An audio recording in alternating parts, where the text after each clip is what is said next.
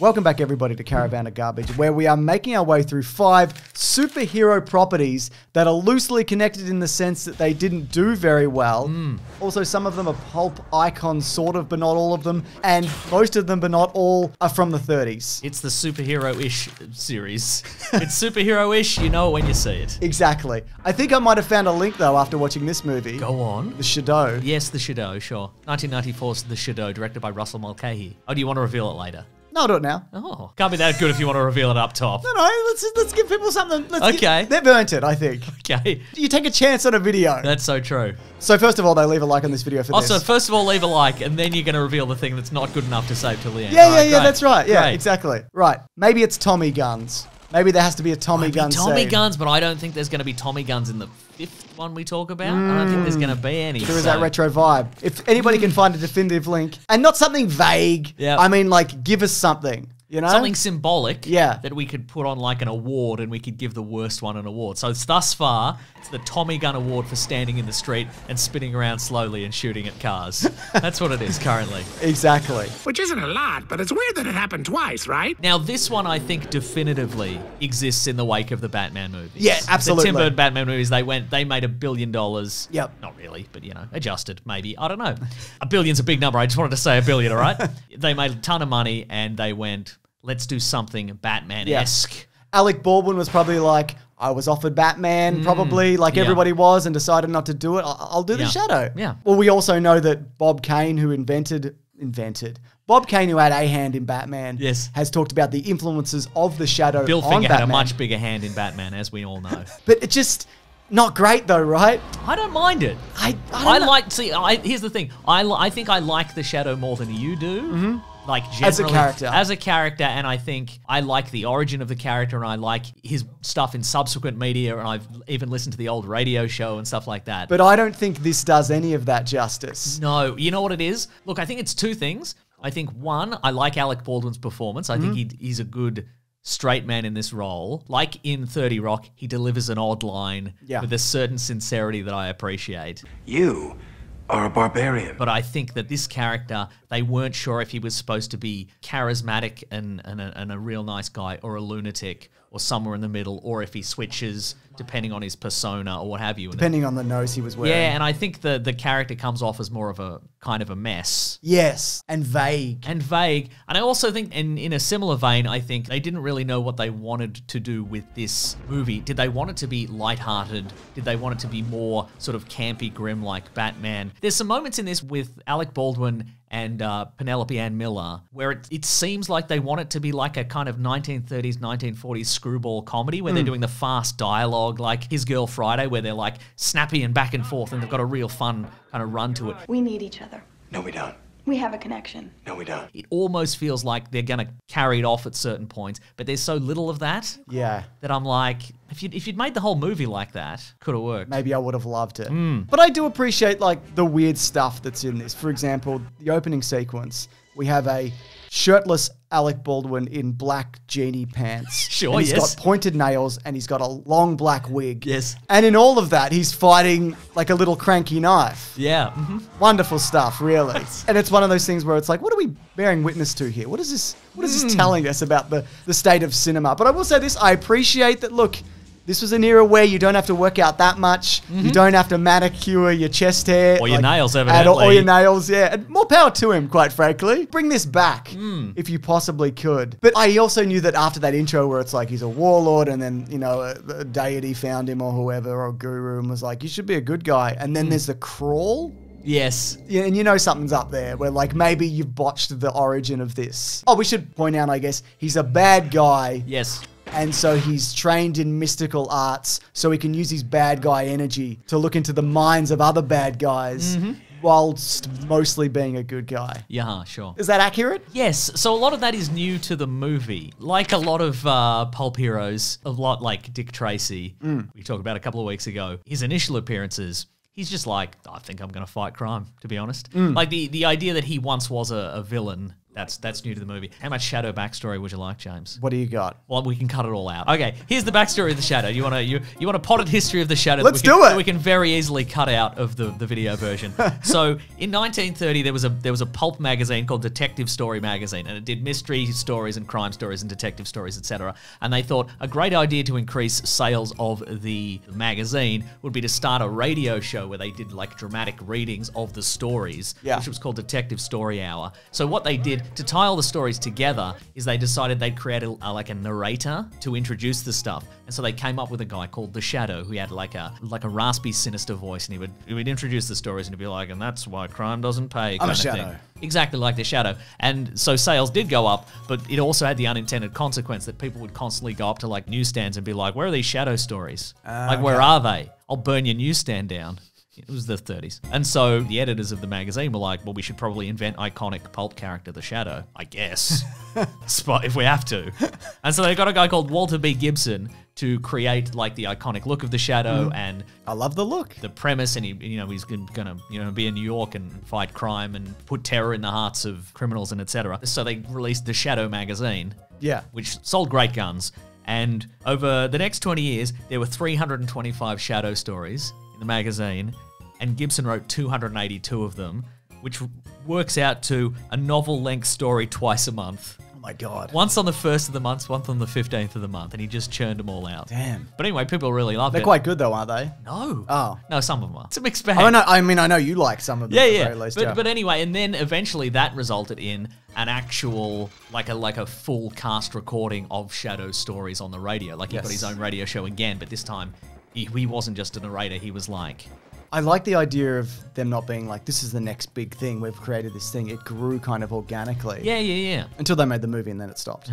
put a put a real full stop. But all the all the uh, all the elements were there that people liked in the 30s, Yeah. through to the 50s. Uh, Margo Lane was invented for the radio show, Mm-hmm. and that is primarily because the Shadow was a man. And the commissioner was a man, and all the gangsters were men. And I think they were like, well, if we put in one more male voice, nobody will know who's talking. So they, so so the writers had a deep sigh, and they went, oh, I guess we'll write a woman. Which I think that that to me is fascinating because it's like the idea I think maybe we've talked about on our podcast, The Weekly Planet, about how the first appearance of Kryptonite, Superman's weakness, was on the Superman radio show, and depending on who you ask, that might have been because the uh, the show was put out live every week, and the guy who played Superman wanted a couple of weeks off, so they had to go, oh, let's just invent a rock that makes him comatose or whatever. Just ah. what they also changed for the the radio show is that they made it so the Shadow only had one secret identity. So in the original stories, Yeah. his name's Kent Allard, mm-hmm. right? He was a, a flying ace in World War One. And then when he returns to New York, uh, he meets a guy called Lamont Cranston who looks a lot like him, who's like a, an idol playboy. So whenever Cranston is out of town, like on safari shooting giraffes or whatever, Or shooting Breaking Bad. Go on. Exactly. Uh, oh, Krantz. Uh, Yep. uh, uh, Yep. Whoop. Yep. Whoop. Kent Allard would sub in for him and put on the tuxedo and be like, I'm Lamont Cranston. And he would, you know, infiltrate high society and get information on the criminals or whatever. Sure. So in the radio show, they were just like, whatever, it's just, we- do we, do we have to explain this every time? Just, It's just Lamont Cranston. And the third thing is that they added that he had mysterious powers. Yes. Because in the original, he's like a smoke bomb guy. Mm, like in the sure. pulp stories, he's just like, I've got a magician's trick and I'll do this or whatever. But clearly, based on all this stuff, clearly they went, folks, this is the fast paced world of 1930s radio. No media landscape will ever be more hectic than this. We've got cigarettes and nerve tonics to sell. We do not have time to introduce the concept. The villains are congregating in a warehouse and he's going to clamber up a fire escape and he's going to find a, an access hatch on the roof and then he's going to taunt and then he's going to leap down and he's going to gun them all down like a hero. We'll just say he's invisible and he's in the room with them. And then he can gun them down like a hero. Yeah, absolutely. No? And I think that's the problem with this movie for me is that his set of powers is very vague and sometimes they work and sometimes they don't and sometimes he's invisible and sometimes he's just standing in water. Maybe right. you should be aware of that. Yeah, yeah, yeah, yeah. There's at one point because he can turn invi- look, he can't strictly speaking turn invisible. He can cloud men's minds Yeah, yeah, yeah. and make them think to them he appears invisible except for his shadow. Hmm. Gotcha. And I- women No. and non-binary people if he existed in the present day. That's right, NBs. He'd be invisible to you too. You're not special. I mean, I get all that. Yeah. But then you introduce a, a villain. Yes. Who has roughly sort of Yeah, the yeah. same thing. Oh, that's But what I- one of them does it a little bit harder than the other. Oh, that's what I was going to say. So there is a moment where Uh, he's in a darkened room, and a, and, a, and a bad guy puts his flashlight on him, and the shadow's there. He, he, can turn invisible except for his shadow, but then the, the, the villain puts the flashlight on him, and he's there, just the shadow, and he just sort of like. Yeah. He just looks like a deer in the headlights. He just stands there frightened and gets shot a couple of times. And it's like, come on, man. But you're absolutely right. I quite like that they introduced a guy who has similar powers to him, but he's kind of better than him. Yeah. But then the shadow just gets better than him. Exactly. Like for no Doesn't reason. learn anything. He doesn't learn anything. He doesn't go, okay, well, the reason is that actually I was too angry or whatever. You know, often in Yeah. the modern superhero landscape, it's like, well, I didn't value my family enough, but now I do value my family, and, and that's given me the power to win or whatever. In this, he's hmm. just like, boy, this guy's better at levitating cranky knives or whatever. Maybe I'll be better at that. Yeah, and yeah. then he is. And then he is, exactly, yeah. But look, to talk about things that I did like, Yes. I think the outfit is great. Hat, Terrific. cape, bandana, prosthetic face. He looks like Billy Baldwin. He does look like Billy Baldwin. That's a different Baldwin. This is young Baldwin, and he looks like some of his younger brothers did. Yes. 10 years ago. but I think the prosthetic is not good up close. Yeah, I understand. And I Yeah. get that they kind of wanted to really distinguish the 2 Mm-hmm. but I think the outfit is enough. Absolutely, yeah. But you know, I like the way that he kind of runs the city. You know, he rescues that guy at the start, and Mm. then he's like, "Listen, you're going to work for me. I've got a network of, of spies." You have no choice. I might kill you. Yeah. You don't know. I don't know. I'm really mean to you, but I'm a nice guy. I'm charming, but I'm mean, but I just I just boss you around. What's my deal? I don't know. you tell me, but I'll, don't. I'll kill you. Will I? Here's a ring. Show everyone the ring, but never take it off. I love that how he's you know he, he tells he tells him how it works in the network of spies, and he's like, "See you later, whatever your name is." And the guy's like, "How did you know my name?" And it's like he just told you he had a network of spies. Yeah, yeah. He probably looked into you. He didn't just recruit you randomly, idiot. Come on. I think there's some really interesting effects in this. We talked about the cranky knife; it doesn't always hold up, but that's the thing that I remember. Exactly. The, look, ultimately, even though the villain is Shiwan Khan, who's a who's a villain from the pulps originally, hmm. the real villain is the cranky knife because he's like the school bully. Yeah. Because he goes to the Temple of the Cobra and he meets the the bully who pushes him around. Hmm. Clearly, then he you know he gets a real glow up and he moves to the big city, and then all of a sudden the cranky knife is back, and he's like, no, not the cranky knife. I'm gonna get swirlied. no cranky knife. But he stood up for himself. That's true. Like you do with a bully. Maybe that's what it is. Yeah, maybe it is, yeah. But I think, yeah, look, not all the effects hold up. But No. There's like a swirling kind of 3D tapestry at one point. Mm-hmm. There's some smoke effects like at night that are, that are quite good. There's a bit where he kind of peels himself out of a shadow at one point where he's pinned. There's one point where he peels his entire face off. Oh, yeah. And he's the other guy. Yeah, yeah, yeah, yeah. He's the other guy, isn't he? I was speaking, yeah, yeah, yeah. And look, and speaking of, there's two great lines that I love from from Alec Baldwin in this, and one of them is he explains to Margo Lane that he he had a dream where he pulled his own face off. I dreamed I tore all the skin off my face and was somebody else underneath. But then there's the moment where Shiwan Khan reveals the cranky knife, and he goes, "Oh, that knife." Oh, that knife. Remember that bit? Yes, I love that bit. Yeah, and here's the thing, right? This era of Alec Baldwin, aside from those little moments that you're talking about, I'm not really into it. Okay, right. If you get me up to like The Departed 30 Rock, 100%, I'm in. the moment in uh, Mission Impossible Fallout where he talks about how Ethan, how Ethan Hunt is the Yeah. living manifestation of destiny. Yes. It's delivered with the same gravitas of oh that knife. That's right, yeah. But the end, I wasn't really wrapped in. I mean, this was always going to end in a hall full of mirrors. I didn't know that, but I knew, you know? Hmm. Which one is he? Whatever, it's a mirror. There's, there's sure, mirrors happening. yeah. And, and it's vague. It's like, I'm going to explode all these mirrors better than you or hmm. whatever. Yeah, you right. can't run from me. Shout out to the score, Jerry oh. Goldsmith. He also did The Omen, Rambo, Star Trek, The Motion Picture, Planet of the Apes. We never talk about scores. No, we never do. But That's this true. is, I feel like this is a really good one. Anything else to say before we do some trivia? Yeah, well, look, I, the supporting cast is great. Mm-hmm. That most most of whom I didn't even remember were in this. Peter Boyle is in this. Uh, Yep. If if you were to ask me which cast member from Lord of the Rings was in the movie The Shadow, I might have said young Viggo Mortensen as a thug or something. Oh, yeah. But it's uh, bloody. It's only bloody. Uh, it's only bloody. Patrick Stewart. No, it's not Patrick Stewart. Ian McKellen. Ian McKellen, thank you. And Tim Curry's in this. Tim Curry's in as just also, a, yeah. the oiliest. I was going to say one of the oiliest men he's ever played, but I can't make that promise, No. honestly. Yeah, an oily man that he has played. How about Yes, that? That's, Can that's- you commit to that? I can commit to that. That is Right. perfect. I think everybody in this is, is doing a good job as well. yeah. Anyways, it's time for the trivia dough. We talk about I don't get it. shadow-related trivia. Oh, not the chat trivia. no. Oh. What are you? Did you not hear me when I said the oh, trivia dough? Oh, I'm stupid. Yeah, you are stupid. But don't let that stop you from helping me finish this video. I don't want to do this by myself. Okay. Okay. I'll get lonely. I'll get lost. I've got this haunted knife that could do it with you. How crazy. oh, God. I don't like it. Why are you doing these videos, James? I just, I don't know. It's like my job now, all right? I used to have a real job now. This is my job. What do you care? Nobody's gonna watch these. They do, though. Like, f- for now. Even these ones? yeah, yeah, somewhat. Interesting. Is it? I don't know. What do you know about media? Nothing. I only know about stabbing. Then shut the fuck up. Sorry. I don't tell you about stabbing. Uh, so the director of this is Russell Mulcahy, who you mentioned. He directed Highlander, most That's right. famously, probably. and second Highlander, sort of. He claims that they fucked that. And they did.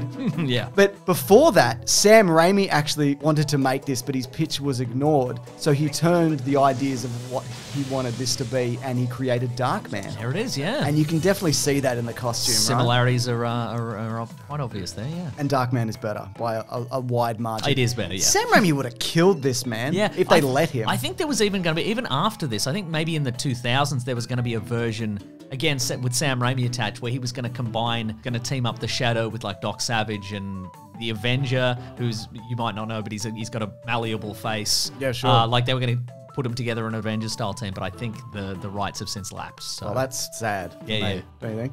I don't think you're sad at all. No, I'm not. I'm not. Yeah, you read that well, actually. I'm a good judge of character. I don't think you are. Maybe one day you'll be able to control me, the cranky knife. I'm actually. Not today though. Stab. Oh God, I, I deserve that, I guess. Yeah. I think you've got to stab me no matter what, though. If I'm honest. He's right. He's not wrong. I love stabbing.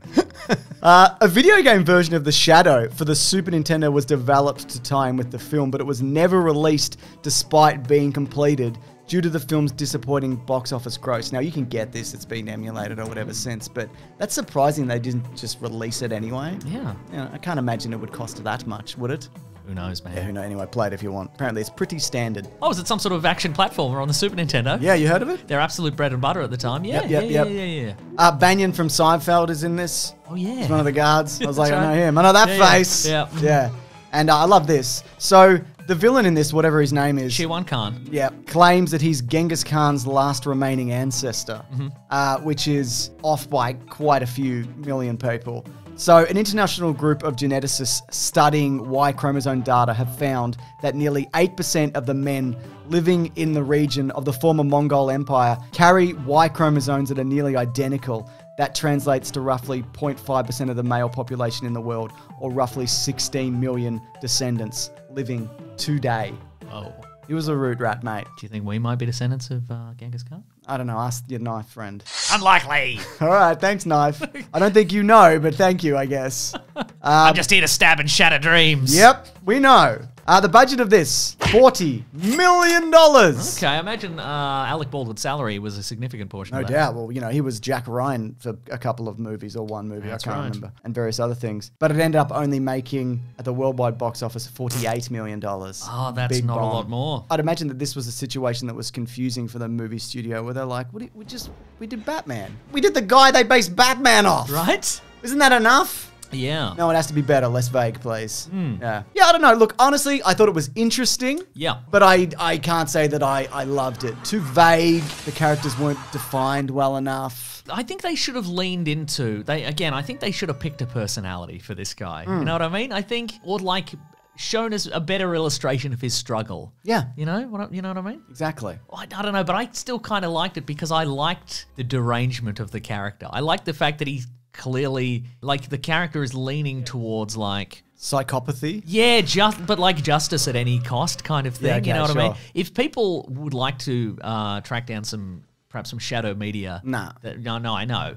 For the one guy, Okay. I'm talking to me, but I've read this already. There were a couple of Batman Shadow crossovers in the comic books fun. through DC and Dynamite Comics, uh, and they're both good. Uh, but the first one by Scott Snyder and Steve Orlando is called Batman and the Shadow: The Murder Geniuses. And if that title doesn't uh, doesn't intrigue you, I don't I don't know what else I can do. This series really leans into the Shadow has been doing it too long. And he's gone mad. Oh, and, okay. And sort of imagine like the intensity of Batman, but times a hundred. Like Yeah. he's been doing it for nearly a century and, Hmm. and he's and he's lost his objectivity and he's just like, yeah, if I have to kill ten people to save a thousand, I'll do it. I don't care. Whatever. That's pretty cool, though. Yeah, yeah, yeah, yeah. It's pretty yeah. cool that he would do that. Yeah. Good, the greater good. I agree with this Yeah. version of the shadow, is what I'm saying. Yeah, yeah. I, think the knife would agree with that. Also. Yeah, I think so too.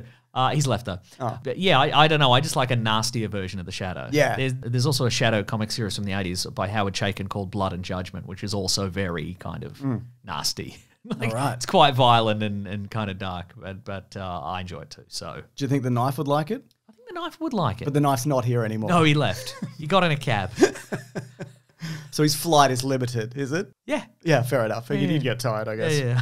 Anyways, do you want to hit for next week? I think we already mentioned it, but here it is. The Phantom is real.